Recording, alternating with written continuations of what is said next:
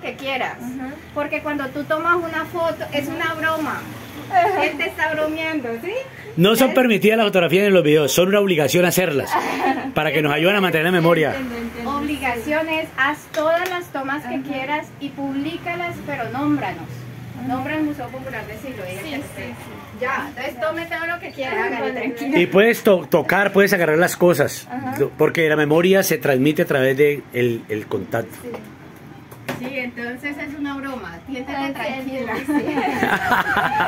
ya sentimos que sí. Lo dañaron. Claro, porque como en los museos son, eso es prohibido, aquí antes se promueve.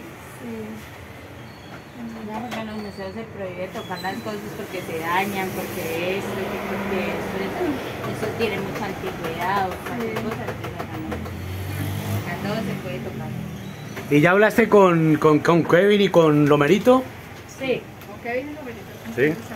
Uy, yo en estos días me encontré una foto de Apu con Lomerito. Sí. ¿Ve, ¿Y este? Más bella, este de, de donde... este También año. de la emisora. Y ese, pero usted no tiene nada. Sí, lo que pasa es que el coso está... Sí, sí, por ahí debe estar.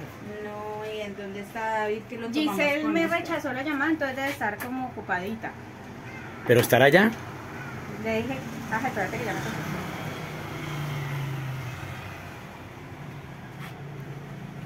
Pero muy chévere que haya llegado acá a Cali, así lo es.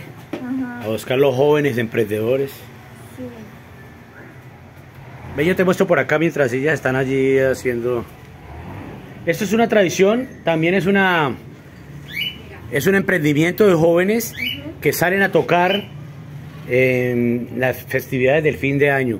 Se llama Los Diablos de Siloé y es pura percusión, ¿cierto? Y entonces aquí contamos un poco la historia a través, los niños y los jóvenes son los que más le apuntan a esto, ¿cierto? Entonces se llama Los Diablos de Siloé y están tocando y bailando por toda la ciudad a cambio de unas moneditas.